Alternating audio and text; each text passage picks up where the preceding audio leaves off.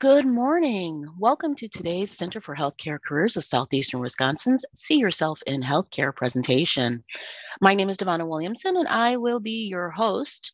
Um, today's presentation is sponsored by uh, Advocate, Aurora, Advocate Aurora, Ascension, Children's Health Wisconsin, and Froedtert Health. Um, a few housekeeping items. We are recommending that if you have a mobile phone that um, you have it prepared for an activity that we have a little later on in the presentation. Um, you will want to go to www.kahoot.it towards the end of the presentation. So again, feel free to load that up right now. It's K-A-H-O-O-T I-T. Again, www.kahoot.it and that way you'll be ready to go when it's time for us to play our our game uh, if you do have any questions and we recommend that you you know feel free to share those uh, put them into the chat box and i will ask them of our speaker um, at the at the right time um, Today's topic is going to be medical coding, and we are lucky enough to have Christina Wheelwright from Froedtert Health here to share her vast knowledge of the medical coding field. Christina, welcome and tell us a little bit about you. Thank you for having me. I'm happy to be here. Um, I'm Christina Wheelwright. I'm the Director of Coding Services for Froedtert Health. Um, I've been with Froedtert for six years now almost. Um, I work remotely from Ohio, so I'm not located in Wisconsin, though I do come up to Wisconsin sometimes. Um, prior to Froedtert, I was at Cincinnati Children's Hospital for 15 years in a variety of different roles, most of them revolving around coding and compliance. Uh, and before that, I did some consulting work and then it gets really old. it's not relevant. but it's really wonderful to be at Froedtert. It's a wonderful place to work, and coding is a really growing field, and um, our department's expanding and taking on more responsibility. So it's an exciting time to be there. Great, wonderful. Well, we appreciate you joining us as well. Um, so I'm going to ask you a question with two parts. One is tell us a little bit about some of the things that you do on a day to day. I know you're a director, so you're mm-hmm. probably not doing actual coding, but also maybe tell us what a typical coder would do on a day to day basis. Okay, you're right. I don't do very much coding because when I do, they make then my staff makes fun of me because I'm slow now. I'm not, I used to be a really good coder. Um, but on a typical day to day, I am primarily involved in um, kind of strategic planning initiatives, um, expanding our scope, doing some compliance issues, uh, working with different departments, building relationships. And that kind of thing. So I'm I do a little bit of the daily operations, but um, I have a management team that's very skilled and they take care of all of that, um, and they do a fantastic job. Uh, a typical coder. Um, it, we've got so many different coding areas that it's really exciting. We really believe in cross training our staff to keep them, you know, interested in what they're doing.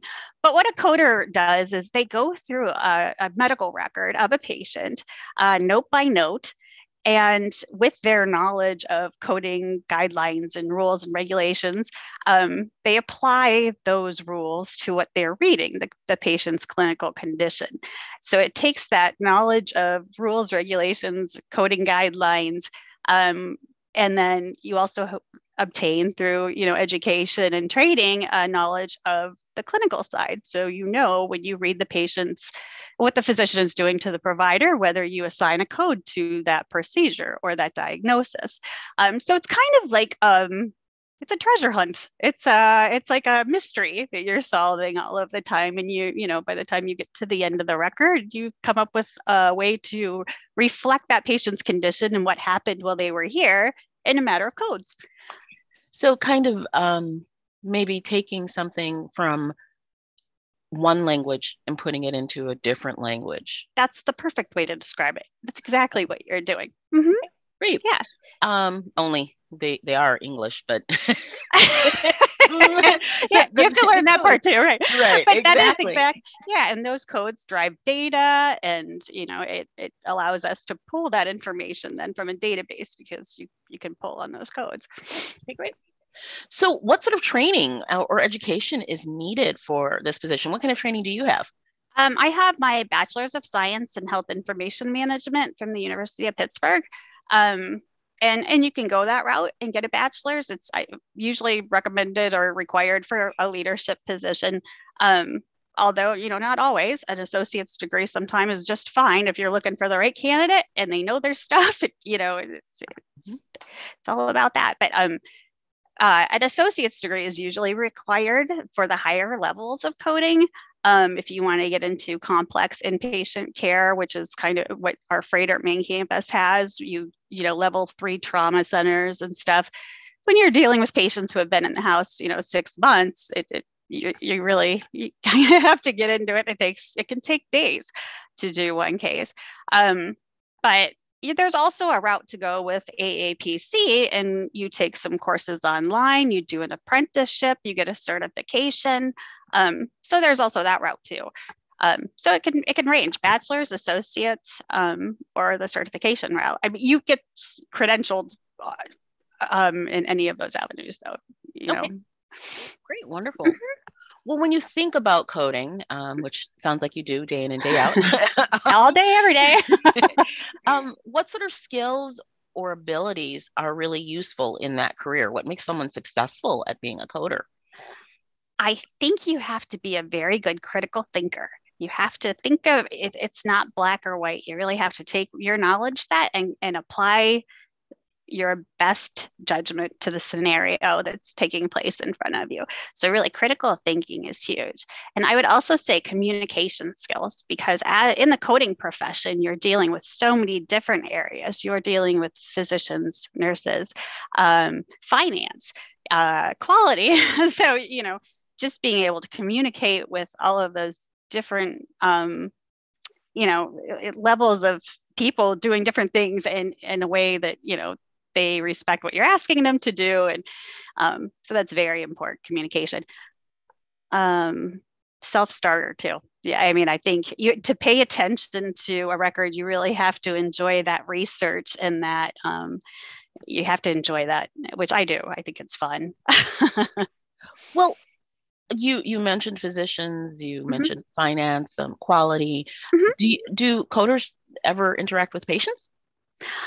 Not so much. Um, in general, if a patient complaint should come through and it has to do with perhaps a code assignment or a question about a code assignment, um, then you know a, a, one of the coders may call them back. Um, but in general, no, not really. Yeah. Um, yeah, customer service internally versus customer service externally. Exactly, and that's we still get um, evaluated on our customer service. Our customers yeah. are at house, right? Yeah. So, what sort of suggestions would you have or would you give to someone who is in high school or heading off to college, maybe, mm-hmm. um, and they were thinking about a career in medical coding? I think I would most recommend if learn your anatomy and physiology, pay attention to that um, and do research when you don't understand something. That was the biggest thing I learned. I, I was very um, overly confident of myself when I started coding. My first job out of college, and it brought me to tears real fast. Uh, but you know, just just put in the time and really learn it, and know when you don't know something, and, and that's okay. It's okay to say I don't know. I'm gonna go look it up.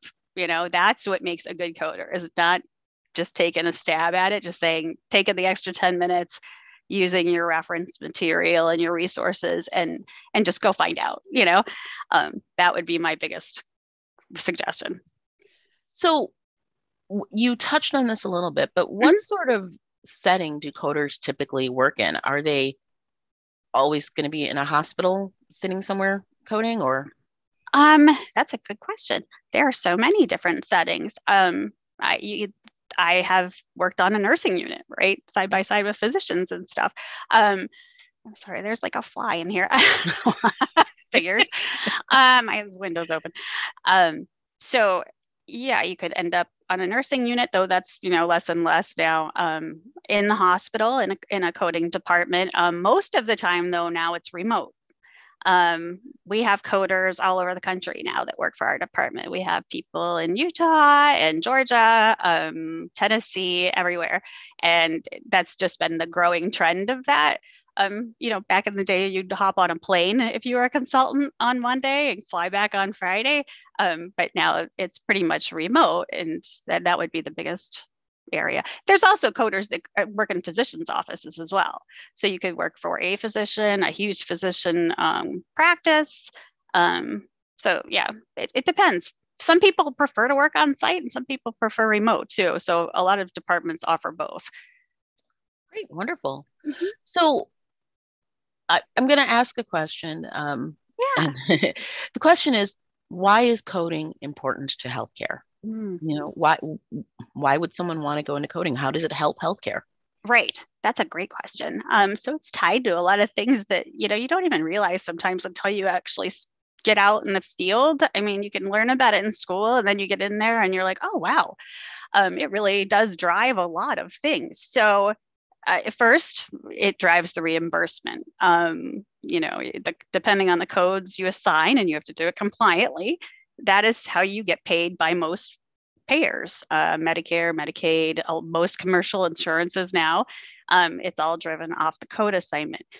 But in addition to that, it drives data. So when you're looking at, you know, our Vizient rankings or uh, U.S. World and News and World Report or whatever.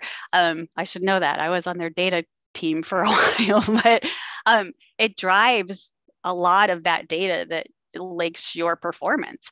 Um, it also um, it drives like performance improvement initiatives. So we pull the coded data if we see a trend in patient care that may not be the way we want it to go, and we can we can abstract that data and kind of trend it based on the codes like are, are we seeing this with patients you know in a certain disease category or mm. um, are these patients more prone to this you know comorbidity so it drives a lot of the dis- data and decision making um, so yeah.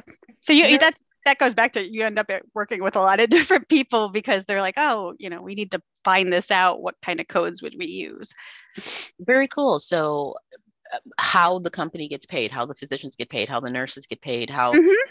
a, a CNA gets paid, it comes off of how it was billed. And of course, as you're saying, we have to bill legitimately. Right. But you need to make certain that you are charging appropriately for the services and the care that was needed. And then also you're able to track how many cases of sickle cell do we have, which affects mm-hmm. a certain population typically. Um, so the kind of um, care that is needed and and increases and decreases in that that kind of care that's needed mm-hmm. is something that your team helps. Yes, track. Yes, and we and we help um we help our like enterprise analytics team if they get a request from a clinical division and they you know the clinical division will come with a question why are you know all the patients with sickle cell are there is there a reason that you know we are having so many sickle cell patients with you know that end up with pneumonia or something? Mm-hmm. and you can kind of see from the code set what else is going on. Well you know this patient those patients also had yeah. Or yes. okay yeah. very cool very yeah, cool. that's i love that part we did get um, a question online that said that if you're working remotely, what mm-hmm. sort of shift do you work? And I guess that would be remote or in hospital. Like, uh, mm-hmm. are they all first shift? And is it eight hours or is it a flexible? How how does that typically work for coders? It depends where you work. Um, we are very flexible. We allow you people, our coders, to work any time of day whatever works for them. Um, we do like them. We, we don't like people to work 14 hour days because that's not good for anybody. Uh, so we prefer, you know, five, eight hour days, but, you know, or four tens, or if you want to do two days on the weekend and two days during the week. Um, and I think a lot of places more and more are offering that kind of flexibility because as long as the work gets done as far as coding goes it doesn't necessarily have to be at a certain time. It's it's not a customer facing um, situation. So know, it's more the background project work and, and whether i mean sometimes even as a leader sometimes i you know may work 11 in the morning till 10 at night um, just based on what i have to do too. So yeah we try to a, a lot of flexibility and i think a lot of places do well, one of the questions that came through, and I don't know if you would know the answer mm-hmm. to this or not, and it may differ on if you're inpatient or outpatient mm-hmm. coding, but they were curious about the wage of of coders. Um, they were specifically say starting um, wage, but I don't know if you know a range. Yeah, it, it does. It does matter. Um, mm-hmm. um, but right out of the gate, gosh, I just looked at this too. This is embarrassing. Um, I would say the starting rate is about $25 an hour Um, but with minimum wages going up, like Froedtert's moving to an $18 minimum wage, um, I expect that to shift up too. But I would say, you know, definitely 25 an hour, mm-hmm. easy. Yeah. Um, and then, you know, it can go up until I've got coders who make uh, 40 bucks an hour. So, mm-hmm. yeah. Wonderful. Um, one other question that I had for you, um, mm-hmm. you, you, know, obviously you're a director, so mm-hmm. leadership is a direction that people can go into in coding. And you, you touched on this a little bit before, but is everyone doing the same kind of coding? You suggested no. And what other sort of things can you do in coding or mm-hmm. with coding? Yeah, there is a lot to do. Um, and and you can. Some people don't want to do anything else. We try to um, meet our staff's needs and and you know as much as we can instead of vice versa. Um, so I have met with people who have been there for 20 years doing the same kind of coding outpatient clinic, and they're happy. They love their job. They like to read those notes. They know the doctor's notes, and that's great. I encourage, you know, that's fantastic. But otherwise, you know, we try to float between outpatient services or um, like an emergency department coder can do some outpatient surgery coding and vice versa. Um, so you get that mix of different patient case, you know, loads. Uh, inpatient coding is kind of specific though. Like there's a big difference between inpatient and outpatient, like you mm-hmm. touched on. Um, so outpatient very rarely, I mean, there's very little back and forth there because inpatient coders can't do that so well and it's just not efficient. Um, and as far as the inpatient coders, they see a variety of services. They are pretty much just doing inpatient coding, but they're doing trauma, they're doing transplant, they're doing uh, you know, heart surgery. There, you know, so mm-hmm. from case to case, it's a very different mix of cases. Um, and the yeah, so great. Mm-hmm. Wonderful. Thank you. So we have one more question that came in on the chat. And then okay. just as a, a, heads up for everybody, get your uh, phones ready um, because we will be going to the Kahoot after this. Again, www.kahoot.it is where you're going to need to go. But first, the question that we got for you, Christina. Yeah. Um, and you touched on this a little bit, but if you can maybe just delve in a little bit more. Mm-hmm. Do you need an associate's degree or what other training programs kind of exist out there for someone to get into coding? If you want to get in quickly, I would say go to AAPC um, and there is a, a, certification. You can get a certified professional coding or certified procedural coder. Um, or and they have a couple of different ones, but you could they I believe it's all online, and then you I think do a certain amount of apprenticeship time. Um, but you you don't need an associate's degree to do that. And you know if you want to run with that, like you can build your own um, expertise. You know. It, just be good at it. You do your research and, and get the the general foundation down you know and, and, if you like it you'll start delving into it and your experience will start to speak for itself. Uh, just just be open to trying different things and that is another thing like as a coder if you're starting out take it take every experience you can get.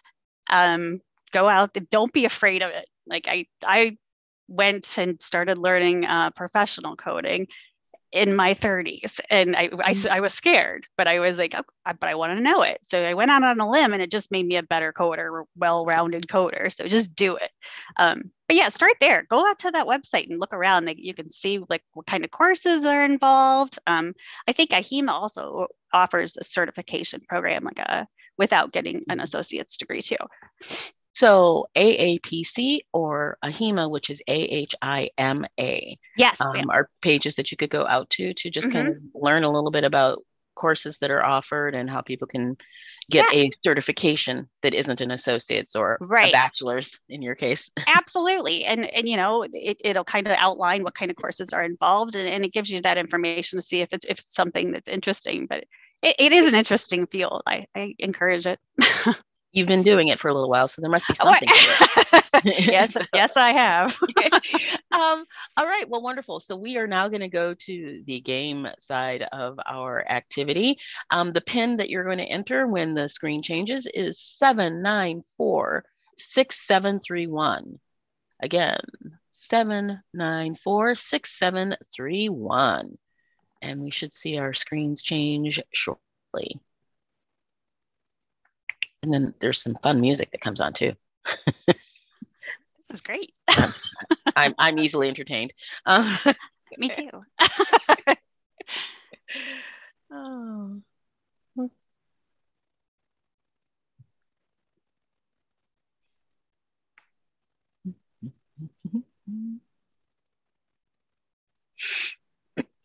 Let's see here.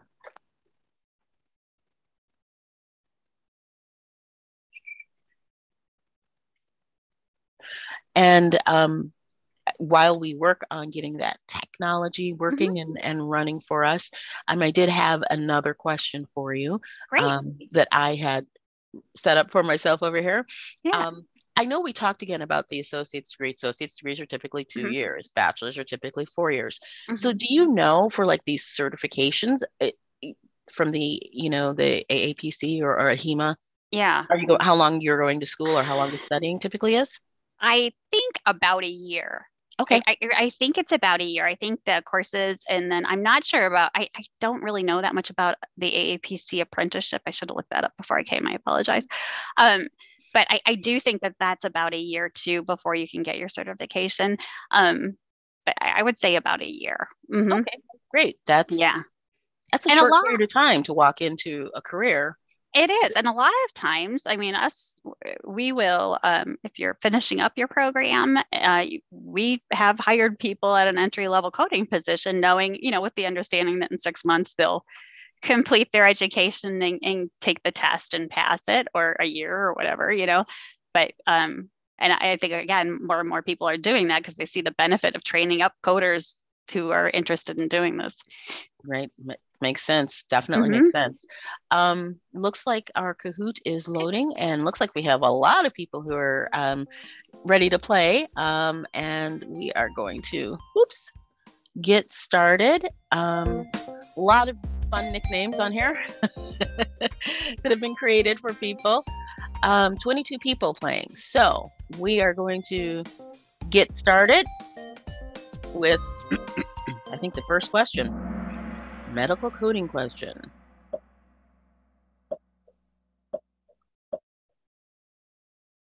Medical coding requires a knowledge of medical terminology, anatomy and physiology, healthcare reimbursement, or all of the above. Medical terminology, anatomy and physiology.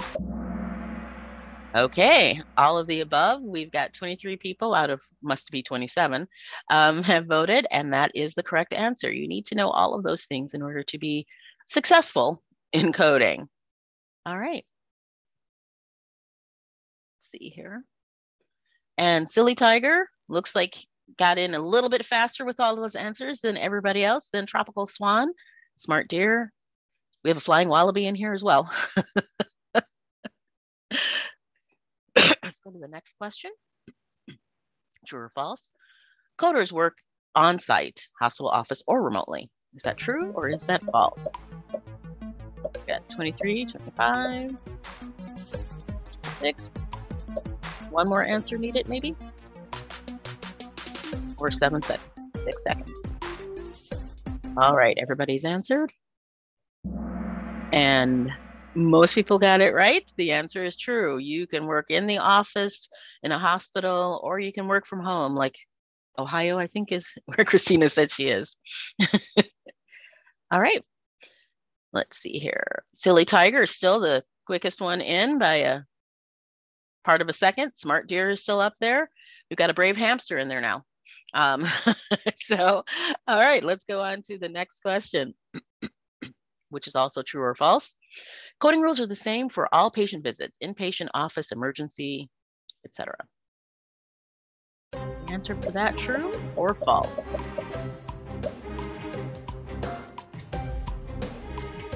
Okay, 27 answers are in.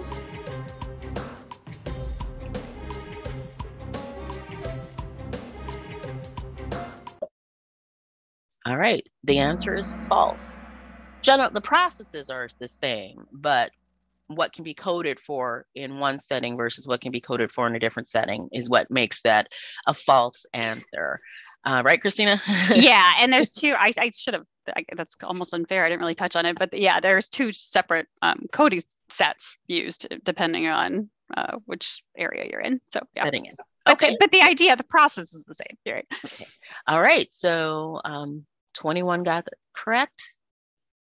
Silly Tiger is at the top, followed by Smart Deer, proving that they are smart. Uh, um, and then Rocky Lion is still in there, Friendly Lion, Bronze Condor. All right. Glad Lemming climbing up there. Coding impacts reimbursement, quality reporting, performance improvement projects, all of the above. Again, coding impacts. Everybody got their answers in. All right. Most of us got it. Looks like we had another person join.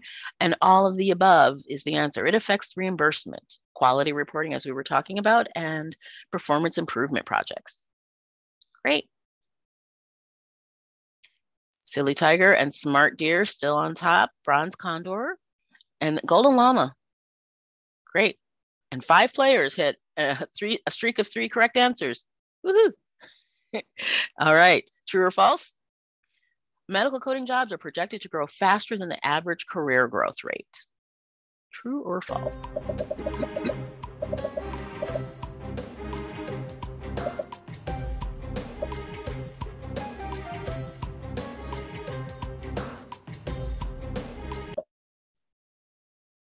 And the answer is true. Coding is a definitively needed and growing area. Um, and we're going to keep growing, Christina, right? Absolutely. it is a field to go into if you have, you know, that desire to research and, you know, detail and, um, you know, that ability to communicate, as Christina was referring to. Yeah. It's a really good career for people who are interested in uh, medical stuff but don't want to take care of patients. There you go. exactly. um, Silly Tiger is on top again, followed by Smart Deer just by one point behind. Bronze Condor, Friendly Lion, and Golden Llama at the top. Five players have gotten four correct. All right, last question true or false? Medical coders and medical billers perform the same job.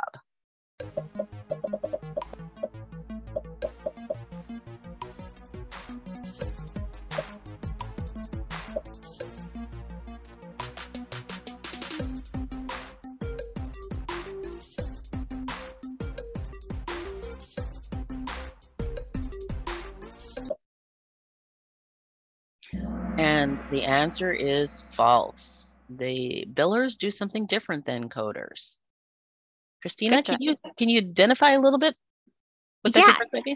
So medical, and the reason I put this in there is you'll see um, both. You know, a lot of times are offered by the same, you know, um, schools in the same program lines, but they're very different. So, you know, make look into both and make sure you know what you're getting into. So, where the coders are more focused on um, reading that record, understanding the clinical information that's going on, and assigning those codes. The billers really know the billing rules.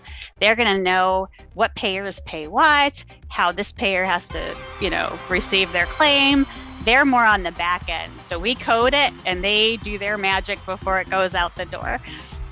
Great. Wonderful. Thank you. Yeah. And Smart Gear came up from number two to uh, number one. And Good job, guys. Tiger and Bronze Condor. Six out of six correct for all three of you. Great job. Future coders. there you go.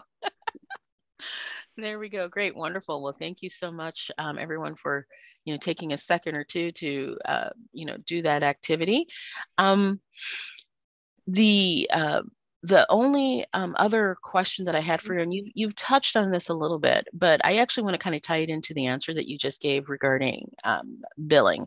Mm-hmm. If someone wanted to go to school for coding, mm-hmm. does it help if they start a job that maybe is doing some billing? Yes. Um, okay, so Absolutely. If you wanted to, that would be a great way to become familiar with the revenue cycle of a hospital and understand you're going to see the codes you're going to you you gain some familiarity of what they mean and who does what with them and where to go you know when there's an issue with them um, so I, I think that is a great way if you want to just start to see if that's even something you're interested in. And those are really good positions too. A lot of those are going remote.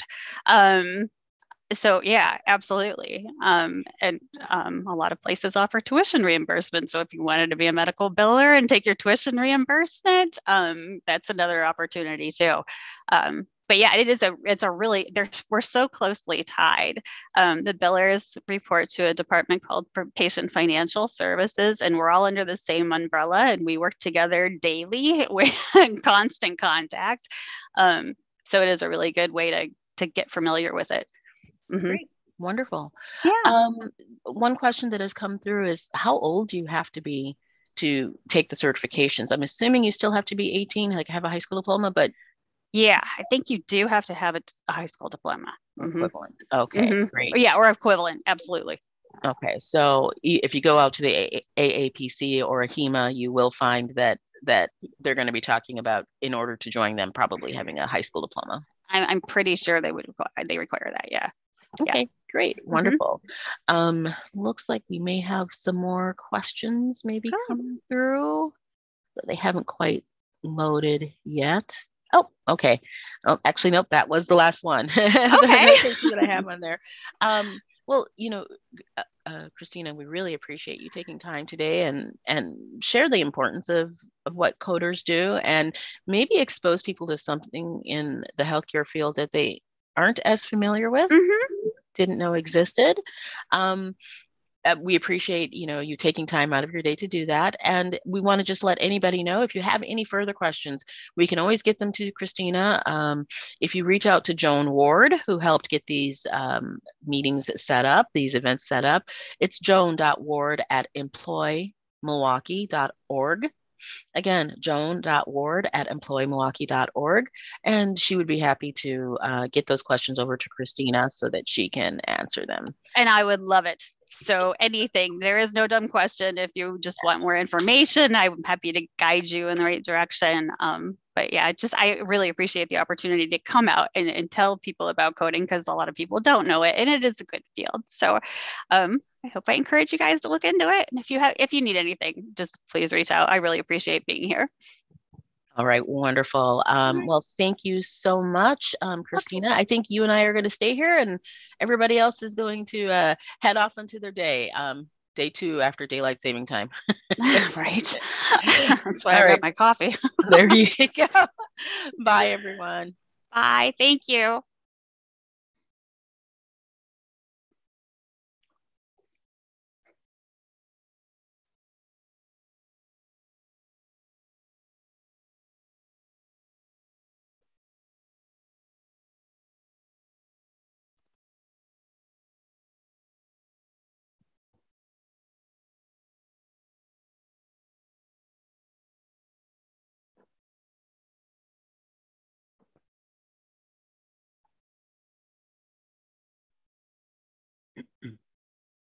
I know we're still on, Christina, but you did see the lovely music that was making me bop, right?